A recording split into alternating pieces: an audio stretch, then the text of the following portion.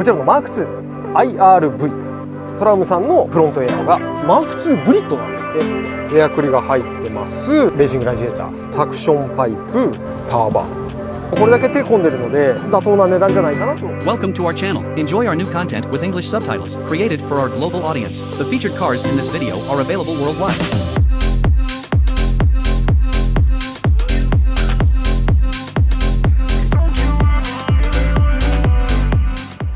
じゃあよし君こんにちは。こんにちは。本日4月21日ですね、はい。まあ今日はこの3台。はい。並べたうちの、えー、と紹介動画の、まあ、第2弾ということではい。真ん中のクレスタはね最後に取っといて、はい。えー、とこちらのマーク2、えー、と紹介させてもらいます、はい。よしいつもうちで扱ってるマーク2とかチェイサーといえば JZX いくつですか？数字で言うと。JZX? 1JZ。JZX すごいね。あの何回も言ってるじゃん。JZX100 です。あ、100。100系です。あ、100。100系ね、それ忘れて。1JZ っていうのはエンジンの方ね、そうなんですよ。だからだこれ100系ね。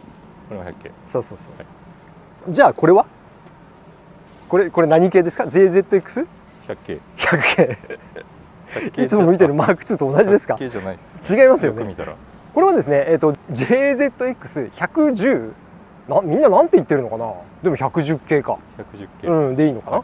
ちょっとなんて言ってるか。若者の呼び方は何なんだろう？100チェとか言ったりとかさえー。言う人もいるしはい。100マとか言う人もいるしね。あのあのそれ100系の話ね、はい。うん。まあ、これは110系、えーになってます、はい。まあ、レマーク2ってすごい歴史のある車なん。だけどさそのマーク2の中の最後のマーク2なんですよ。はい。はい。でマーク2ってえっ、とね1968年からはい。初代が出てって、はい。45年前かに一番初めに初代のマーク2が出ましたと。でそこからこう何だか何だかマイナーチェンジ繰り返してで、えー、とこの110系が、えー、と最後のマーク2とはい。なってます、で今回はそれを紹介させてもらうという感じです、はい。ちなみにマーク2の次って言ったらいいかな。でななんだか分か方っていうか呼び名っていうか。マーク X。そうそうそうそう。そうなんだよっていう感じ。だからこの次の方は、えー、とマーク X になっちゃったので、はい。うん、マーク2としては、まあ、これが最後という感じになってます、はい。こちらの車も、えー、とお客さんから、えー、と直接買い取りではないんですが、はい。あの間にちょっと,、えー、と人が入ってるんですけれどもインスタのねつながってる方がいらっしゃって、はい。その方がね5万人ぐらいフォロワーいるのかな？シルビア乗りの方なんですけれどもその人のお友達が乗ってた車はい。を譲っていただいたとはい。いう感じです。でその方からはねまだ動画にアップしてないけど三々の GTR とかも、えー、といただいてるような感じでまあ、結構ねな仲良くさせていただいてる。めちゃめちゃいい人なんですけど、はい。でまあそんな車好きの方のお友達もやっぱり車好きってことで、はい。えーその人が乗ってたマーク2を、えー、と紹介させてもらえればと思います。はい。えー、とまず車内容を言うと平成15年式、えー2000だから3年式だね。はいで、えー、とグレードが IRV110 系のマーク2はツアラー V とかっていうツアラーとかって言い方はなくなってて、はい。100系でいうツアラー V がこの110系でいうと IRV っていうグレードになります。なんで、えー、と 1JZGTE のシングルターボかはい。のエンジンが積んである。で、えー、と走行距離がね、まあ、ジャスト15万キロぐらいかな。15万800キロ。はい。で、えー車検は、えー来年の9月まで残ってる。で、えー色は純正ブラックで、えー修復歴はなしと。はい。いう形になってます、はい、どう？見た目かっこいいでしょかっこいいですね。うん、なんだろうな。やっぱりちょっと VIP 系とも違い、でもそんなにスポーツスポーツしてなくてはい。なんかバランスがいいんですよね。僕結構こういうスタイル好きです。あうん。なんかマーク2っぽいいじり方かなって思うんだよね個人的には。はい。はい。エンジンとかコンピューターとかはいじってないんだけれども、はい。でもやっぱり、えー、と一通り手は全部入ってて、はい。まずフロントバンパーは、はい。えー、とトラウム伊藤オートサービスだったかな？はい。トラウムさんの、えー、とフロントエアロがついております。フォグはこれねプラドのって言ってたんだっけな。うん。まあでもトヨタの純正だよね、でキセノンの、えー、とフォグが入ってるという感じですね、はい。で、えー、とサイドスカートに関してはこれもねだ僕だからやっぱり110系あんまり分かってないんでしょうね。あのこれマーク2ブリットなんだって。マーク2ブリットって110系のマーク2のステーションワゴンがあるんだけどさ、はい。それの純正スポイラーがポン付けらできるらしい。ですね。うん、はい。っていう感じです。はい。でリアがえー、とリアはまあ走り屋さん大好きなベルテックスですね、はい。ベルテックスのエアロに、えー、とトランクスポイラーもベルテックス。これですね、はいになってます。アイラインもベルテックスか。になってるという感じですね。はい。はい、でアルミホイールはワークの19インチが入ってますと。はい。19インチが入っててでフェンダーに関してはもう爪折り、まあ、このサイズだと当たっちゃうので、はい。まあ、爪折りしっかりしてあってあのクリアランスちゃんと逃げるようになってるので、はい。車検はちょっと厳しいよね。あー厳しそうですね。はい、であとマフラーですね、えっとマフラーも、えっとこれもトラムかな。のタイプ S っていうマフラーがついてます、これ僕の認識だとねトラムさんってこうなんていうのかな。もうちょっとここに厚みがあったんだけど、ね、年代によって違うのかな。でもトラムさんのタイプ S のマフラーです、あと車庫帳が、えー、とブリッツの、えーダンパーあ WZR っていうのかな、はい。が入ってたりとかブレーキローターがディクセルパッドがプロジェクトミューはい。のローター。とパッドっていう感じですね、はい。まあこれも純正プラスアルファぐらいかな。はい。なんか純正に変えるんだったらここら辺入れといた方が性能もアップしていいよねみたいな、はい。まあそれぐらいのレベルなので特段効きが大きく変わったりとかっていうわけじゃないと思うんですけれども、はい。という感じです、はい。まあこれが外装についてる社外品でしょ、はい。で今度エンジンルームね。よ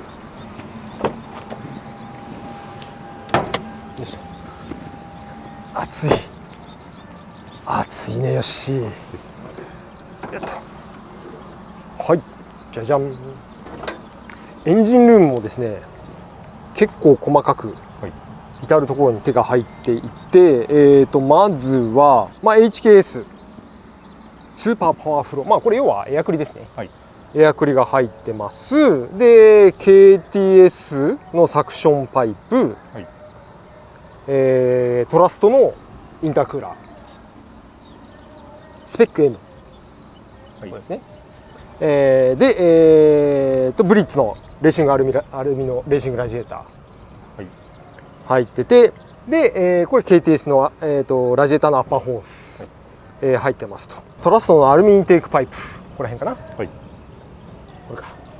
あとはクスコのターバーですね、はい。これってでもさ付け方逆なんじゃないかなと思ったんだけど普通こっち前なんだけどね。でも分かんない。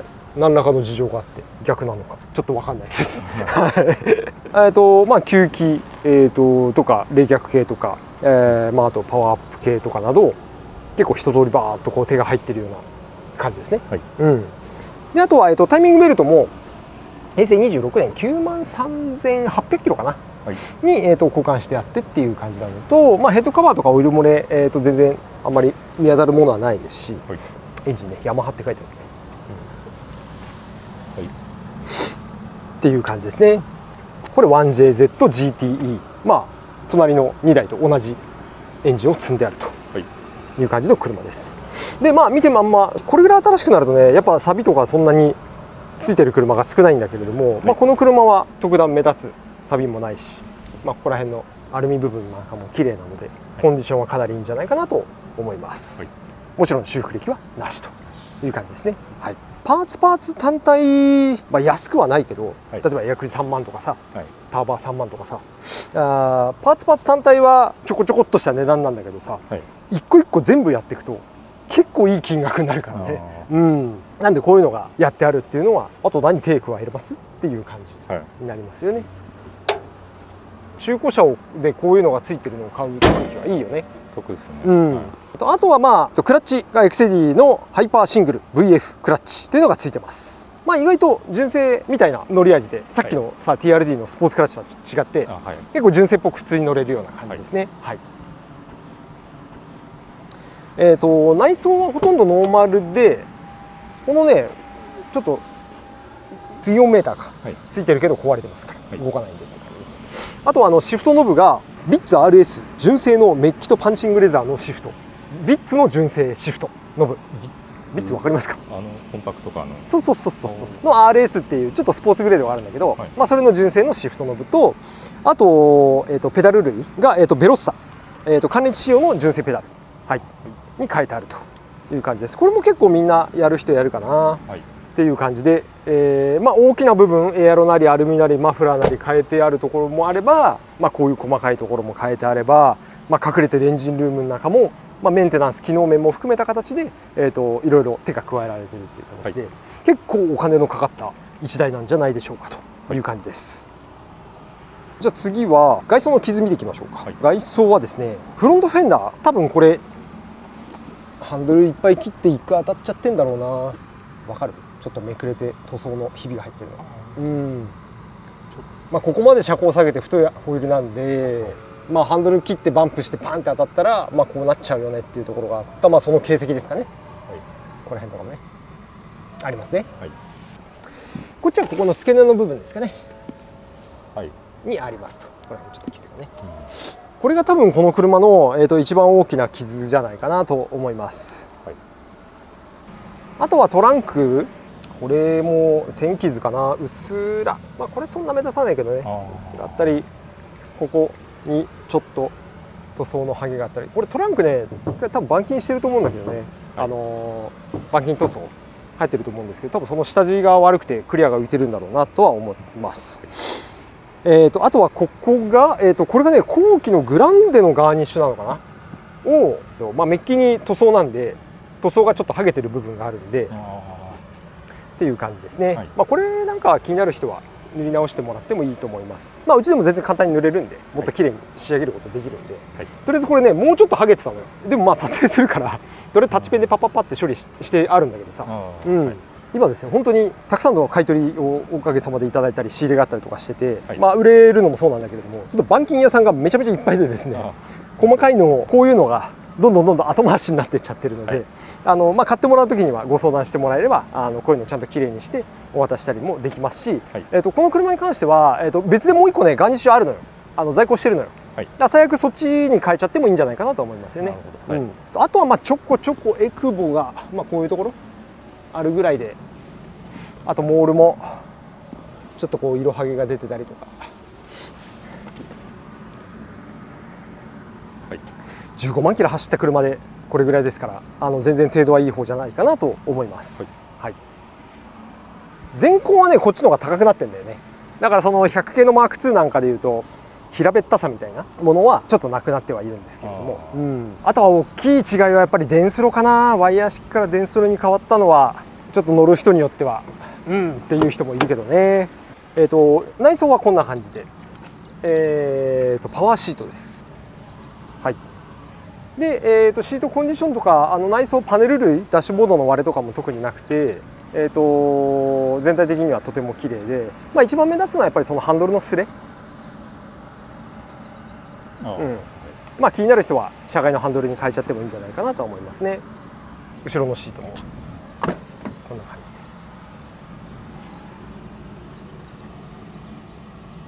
綺麗です。いいよね、はい。うんという感じでしたじゃあエンジンかけてみましょうかはいはい。いきますよ。回んないんですよ。はいこの年代はさ、クラッチ踏まないとあかからない。そういうことですそういうことです。すみません。まあ普通にエンジン一発でかかって、まあアイドリングも特段安定して、はいまあオーディオなんかはこれノーマルノーマルですね。だからほとんどここら辺はノーマルかな。うん。であとはえっとセキュリティ？ユピテルだったかな？アンテーラーのセキュリティがついてるらしいんですけど、はい。まだこれお客さんからのあの充電器もらってなくて今電源電池が入ってない状態なので多分作動すると思うんですけど、はい。一応セキュリティついてるとはい。じゃあちょっとアクセル吹かしてみましょうか。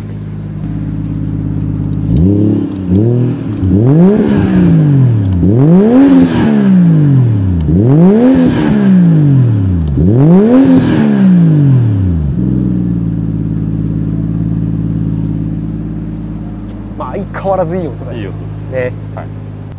そうあとはあのーこの車って下回りもかなり綺麗なので、まあちょっと カメラでそんなに目立つ錆もなく、はい。うん、でジャッキポイントも全部残っててっていう感じなので、でやっぱりローダウン車なんでしょうがないんですけど内べり？はい。多少出てるので、はい。まあ気になる人はこう左右入れ替えて。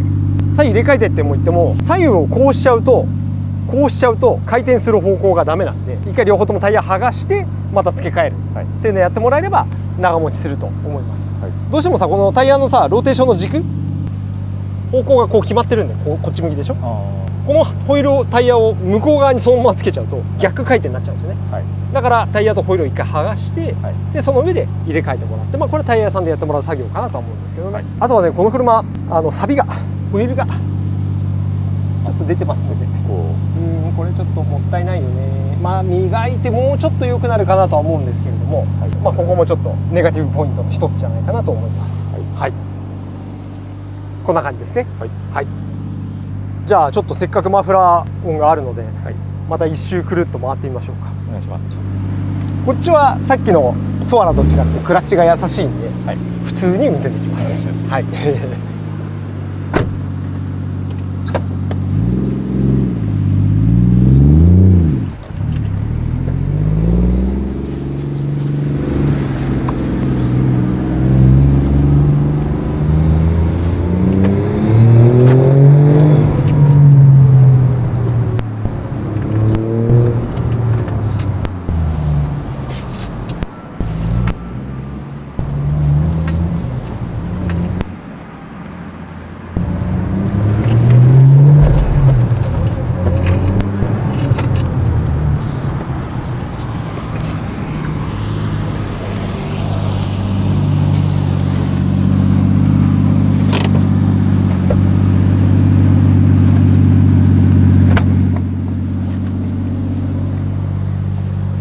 前振りが振りなんじゃないかっていうぐらいクラッチのつなぎ方が下手くそだった。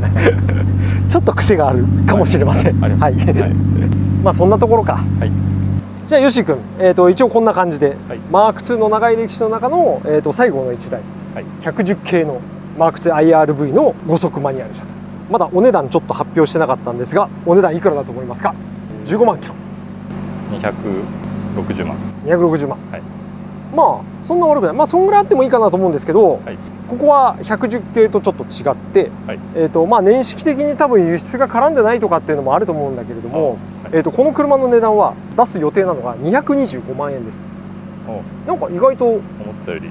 安思ったより安くない？はうん。まあ相場も大体それぐらいじゃないかなと思いますし、まあ、仕入れ値もあのやっぱこれだけ手込んでるので、はい。あの安くは仕入れてはいないので妥当な値段じゃないかなというふうに思います、はい。100系でここまで綺麗でここまでやってあって、はい。100系のマーク2であったとしたらやっぱり300近くの値段にはなっちゃうと思うんですけれどもまあ、今は25年経つ経たないで値段が結構変わったりするところもあるので、はい。この車の値段はまだ225万円で買えるはい。という感じですね。ただねうちは横田基地が近くにあるじゃん、はい。横田基地の外人さんはちょっとここら辺狙ってるって言ってましたね。あそう。一人これをちょっと買おうかどうしようか。この間インスタ上げたんだけどさ、はい。買おうかどうしようか検討してる今度見に行きたいっていう人もいたので、まあ、もしかしたら外人さんたちもこっち好みだっていう話になればまた値段がちょっと上がる可能性もなくはないかなと思いますね、下がる可能性と上がる可能性があったとするとどちらかというとやっぱり上がる可能性の方が高い車じゃないかなとはい。いうふうに思っている1台です。じゃあ、えー、と3台紹介今日こちらですね。3台紹介のうちの2台目マックス終わります、はい。次は最後の大鳥はクレスタという感じです、はい。飛行機も飛んできました。もうすごいよね。僕らはこういうところにいます。はい。まあ次はこのクレスタね、えーそのまま撮っていきますので引き続き見てもらえればと思います。じゃあ一旦ここまでで。ご視聴ありがとうございました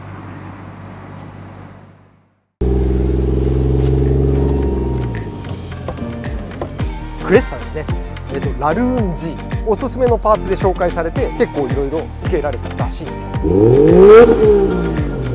期なので3本スポークのオレンジ色のメーターになるんですね